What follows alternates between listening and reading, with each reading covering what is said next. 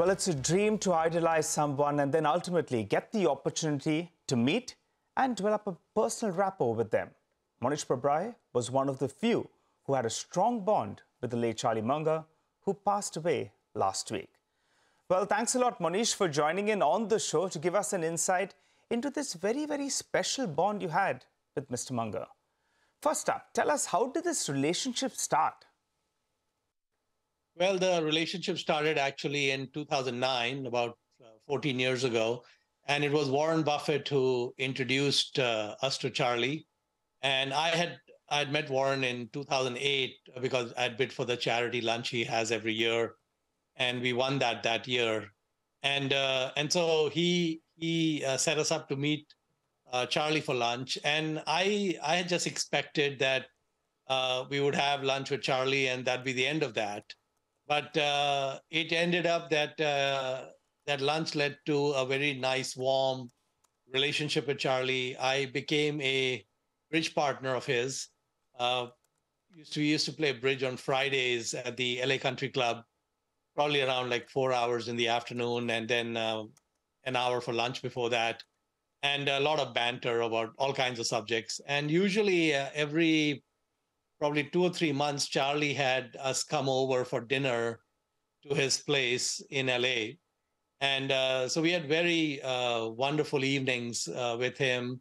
In fact, my my last my last one-on-one dinner with Charlie was exactly a month before he passed away, and uh, it was a wonderful uh, wonderful evening and uh, very engaged, and it was great. I can see in your backdrop, you know, what they meant to you in terms of learnings, in terms of this relationship as well. Tell us more about that. Uh, you know, how did it how did it develop in the first place, and what were the key learnings, maybe about life, and then we could get to markets as well. Yeah, absolutely. So, uh, Charlie, uh, you know, Charlie probably more than Warren uh, is able to read people really well and really fast. Uh, and I think for uh, whatever reason, uh, I passed through his filters. And uh, actually, many times when he would describe me to friends of his and so on, and I would get some of those kind of comments back, it was very accurate in terms of how he saw me. And uh, so it was really surprising that really quickly he was able to uh, figure out a lot of things about me and had a keen interest in interacting and I would say that both with Buffett and Munger, there's a lot in the public domain. We don't need to know them to learn from them. I think there's a lot we can uh, learn from just with all the writings and videos and, and all of that. But I would say with Charlie, uh, I learned uh, I learned a lot, not so much from what he said to me, even though there were many fascinating conversations. I, I learned from observing him. So he has eight kids. He has a lot of in laws, a lot of grandkids, even some great grandkids. I had a lot of interaction with um, a lot of the family. And, you know, the family is a spectrum, right? So there's people who are, uh, there are all kinds of people in that, in that group. And uh, I saw that Charlie was able to finesse great relationships with all of them. And some of them I found, you know, a bit odd or strange or something. And sometimes I would bring that up with Charlie. and uh, he would say yeah you know i know but you know uh, that's just life is we roll with it. And uh, so I, I saw the way he finessed these relationships. I saw the way he was able to figure out different businesses and business leaders. Uh, he had a very deep love for costco. You know we don't have costco in india yet. Uh, they've just entered china. Probably at some point they'll enter india. And probably at almost every dinner we had probably at least 20 30 minutes uh, would be some uh, nuance of Costco that would come up. And uh, it was a great business, and uh, Charlie was a director for many decades. Uh, so there was a lot of learning there.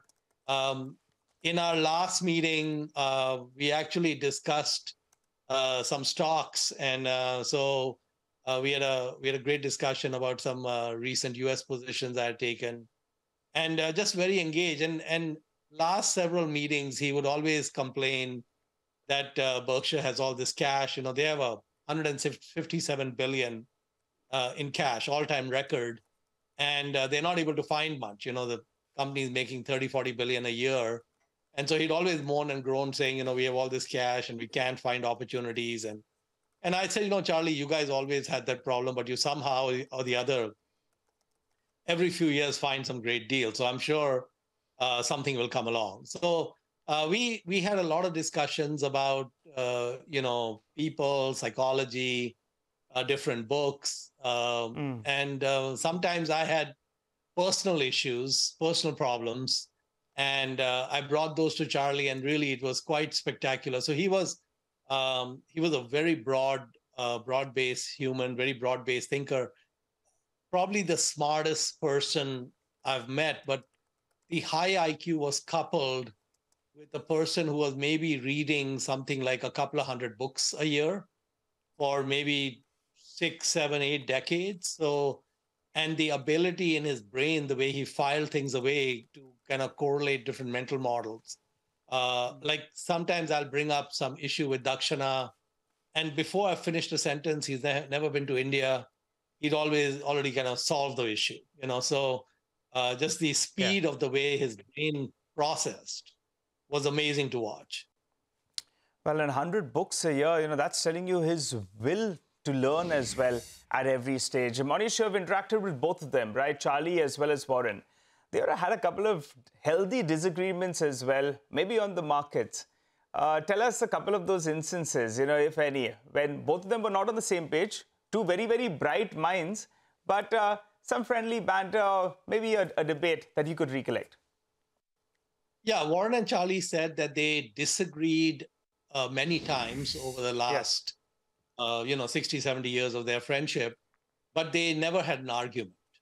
Uh, it was a very good relationship. And, uh, you know, the big change uh, Charlie caused in Warren was that Warren was a very die-hard Ben Graham guy wanting to buy um, cheap uh, cheap assets, you know, even if the quality wasn't that great. He was very focused on price, and Charlie convinced him that it was it was better to buy a great business at a fair price than a fair business at a great price. And this was a big transformation, a big moment for Warren. And uh, the first time that happened was in 1972 when they bought See's Candy. And uh, so they paid, you know, multiples of book value for that. It was a great business. They paid about 25 million for it, and they've already collected since then about two and a half billion in uh, dividends from the company. Uh, the See's purchase uh, led them to the Coke purchase. Uh, so Coke is a very large position for them. And in the late 80s, when they bought Coca-Cola, they put a quarter of the book value of Berkshire Hathaway uh, into Coke. And uh, and they've continued from then, you know, even the Apple purchase now. so basically, this transition was a very important transition. But there were many transitions that Warren made that would not have happened without Charlie. So if you take Charlie out of the picture, the market cap, cap of Berkshire Hathaway, I would say, might be one hundredth of what it is today. So it's about, it's not a 700 billion, it might be less than 10 billion. Uh, so Warren would have been successful, but nothing like what happened. Uh, he also convinced Warren that once they bought a business, they should not and could not sell it because that would have an impact on future sellers. So sellers of businesses know that when they sell to Berkshire, it's a permanent deal. The business mm is hmm. not going to be shopped to private equity or resold or any of that. So that leads them to get deals that nobody else sees. I love this one where Charlie said there are three ways that a smart person can go broke liquor, ladies, and leverage. What were your key learnings, you know, with your, from the interactions you had with them? Well, one of the, you know, so I think I think when you look at Charlie Munger at the Berkshire meeting or the other kind of public settings, uh, you kind of uh, get a persona which is kind of like a wisecrack, you know, someone who kind of has these zingers and one-liners and so on. And uh, when I interacted with Charlie one on one, what I found is that uh, out, you know, inside that cold exterior uh, was a very, very warm person. Same with Warren, and I think both of them had this hard exterior because they have to protect themselves. You know, they're uh, they're you know in the world and so on. But once you get past that exterior, uh, very warm, kind soul uh, and someone with a, a, very high degree of empathy. So basically, uh, he was extremely good at investing. He was great at architecture. He was really good at understanding humans. He was for interested in the humans. Like he would he would ask me a lot of questions about the Dakshana scholars, about the female scholars we had, and kind of their life trajectory. Just very engaged on a human level. So almost till the end, he traveled by coach. You know, so Berkshire Hathaway owns NetJets, which is a uh, fractional jet ownership, you know, private jets. But uh, Charlie liked to travel uh, by coach uh, economy, and he did that because he said he did not want to lose the common touch. He wanted to keep interacting with Joe Public. You know, so sometimes he would go for a Costco board meeting. He'd be on a Southwest Airlines flight back of the plane, middle seat. He's a big guy, squished in. He had a book with him. He really didn't care. It was irrelevant. And he would take an interest in the people on both sides. In many ways, he was a modern Ben Franklin. I think the closest person uh, to Charlie was Ben Franklin. And the United States, um, hmm. out, out of all the founding fathers, the United States actually would not exist if Ben Franklin did not exist. So he had a huge impact on the formation of the country and uh, very unusual guy. And there were a lot of similarities between mm. Charlie and Ben Franklin. Well, Mohnish, you mentioned, you know, at Dakshana Foundation as well, uh, you've had a hall that's named after Mr. Munger. Tell us the backstory on that. Yeah, we have the Charles T. Munger Hall in uh, in Bengaluru. It's near the airport. So, if your uh, listeners anytime want to go visit it, I think you'll have a great time. Uh, I think uh, maybe it was 2013 or something where I wrote to Charlie saying that, look, we want to name this hall after him. And uh, I just wanted to not, I didn't want to do it without him giving an okay.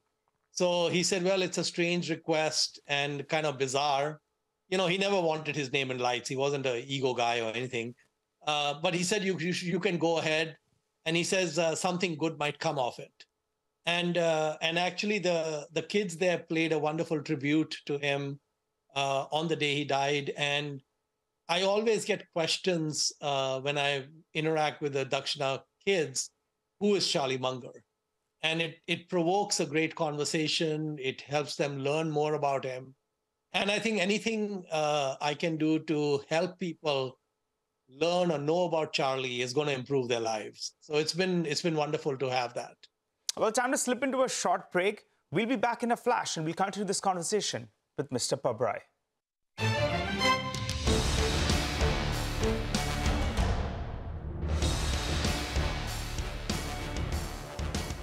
Welcome back. Well, you're tuned into this exclusive conversation we are having with Mr. Mohnish Pabrai on Mr. Charlie Munger's journey. In terms of investment philosophy, you know, what was the best takeaway that you got from Mr. Munger? Yeah. Some kind of investment advice that you got from him?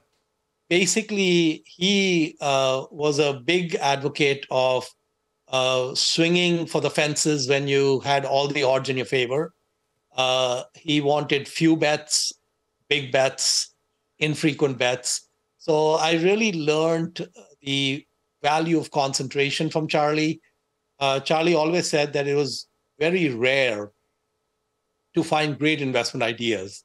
Uh, maybe in a lifetime, if we are lucky, we may have a half a dozen uh, truly great investment ideas, maybe one every five years or 10 years. And when we get one of those ideas and you know it hits us uh, on the head with like a two by four, uh, basically you go all in. And so um, this the and and you know investing is a business with a high error rate. Uh, the best of us are going to be wrong half the time.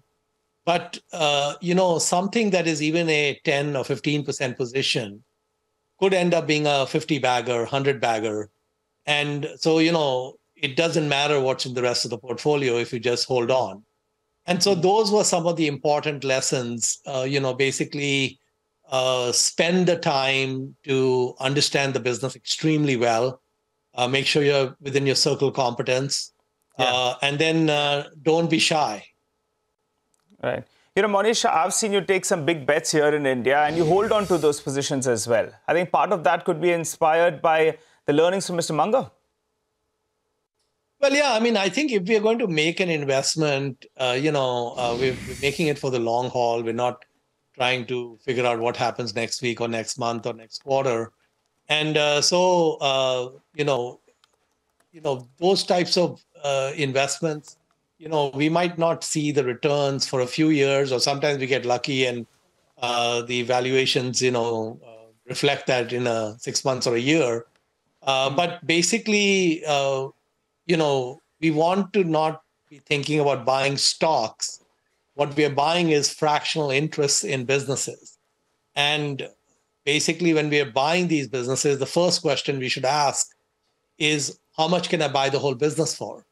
You know, uh, sometimes people will say, hey, you know, Apple's at 150. Uh, should I buy it? And I'll ask the person, well, what's the market cap of Apple? and they have no idea what it is. I said, well, you know, so the first question when you're trying to buy a business is what can you buy the whole business for?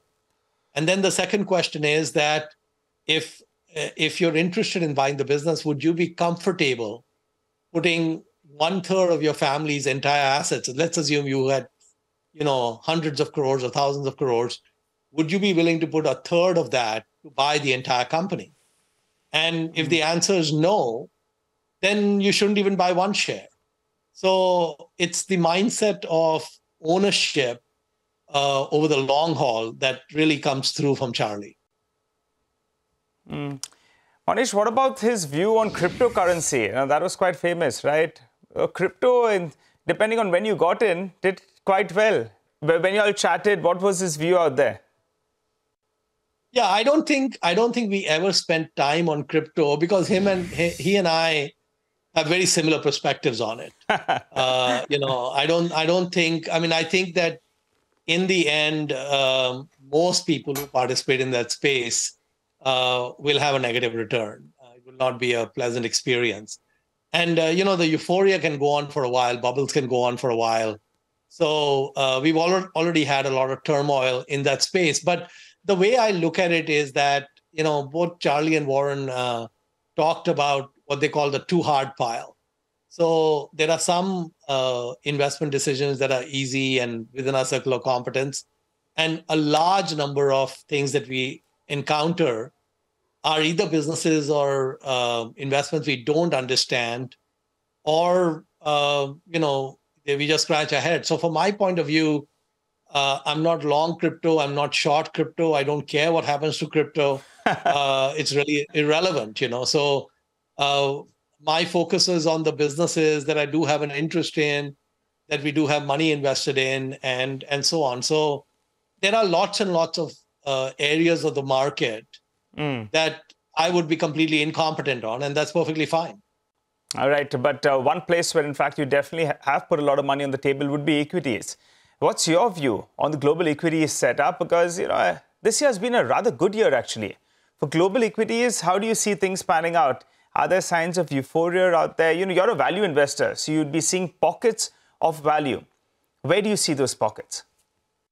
Yeah, I think that, uh, and I had a lot of discussions with Charlie on this in the last few years. Is I I have uh, you know in more than a quarter century of investing, uh, I have the most bizarre portfolio one can imagine today. So about uh, half the money, uh, close to 40, 50 percent, is invested in Turkey, in three stocks. Uh, another 25% or so is invested in the coal industry in the United States, and uh, and we have a little bit in India, and uh, and basically, um, I think that uh, I've never had this kind of a unusual concentration, but I also feel uh, with what we own that basically don't need to do much for a while. So I find in general uh, the US markets, which is where I spend the most time, to be either fully priced or overpriced. Uh, definitely the top six or seven uh, market caps um, are either fully priced or overpriced. Mm-hmm. The uh, the rest of the market uh, also doesn't seem that attractive. I mean, you know, we had a huge change in interest rates, which would normally lead to a huge drop in equity valuations. We never saw that. Uh, when I look at India, I see a lot of growth ahead. I think India is a tremendous growth story, but you have to overlay that with a market where there's a lot of brain power, very smart investors, mm. and a lot of euphoria because uh, the companies which have spectacular futures ahead of them and the ones that have great corporate governance is a relatively small list. And mm. uh, everyone piles into those you know and so um, it's not a problem to identify great businesses in india. Uh, i find that it is a problem to find them at attractive valuations. I think the area that in india that might be very fertile uh, might be small caps and mid caps but one would really need to be in the country all the time and you know poring over those, uh, you know, one business at a time and kicking the tires. So um, I don't see as much opportunity amongst the larger uh, Indian businesses, but I do believe that India India Inc. Uh, will do extremely well. Well, uh, Mohnish, you know, we are thumping the table. We believe that there are a lot of, uh, you know, broader market stocks that could do well. And if India Inc. is going to do well, will you probably look at increasing some allocation because as of now, as you said, US coal as well as Turkey, bulk of the money is invested out there. Is there a possibility that India gets a larger bite, say in 2024, 2025? Yeah, I mean, basically, you know, if we found one uh, one business uh, in India that looked attractive, you know, we would put a lot of money against it, assuming it was large enough to, to absorb it. So we don't need a lot of ideas, and basically, it's it's just a matter of uh, finding something that's within my circle of competence, mm. which has great great governance, has high returns on equity, uh, mm. strong mm. tailwinds, and yeah, absolutely. We I think that uh, the India growth story, I think, is very unique in yeah. the whole world. One of the only places in the world which has a large population and a growing population, um, and a very strong entrepreneurial culture, a very pro business government culture. So I think there's a lot to like about India. Absolutely. Okay, all right. Mohnish, we appreciate you joining in here on CNBC TV 18. Thanks a lot for taking time out, running us through your relationship with Mr. Munger, and also giving us your brief insights into global markets. Nigel, it's always a pleasure. Thank you.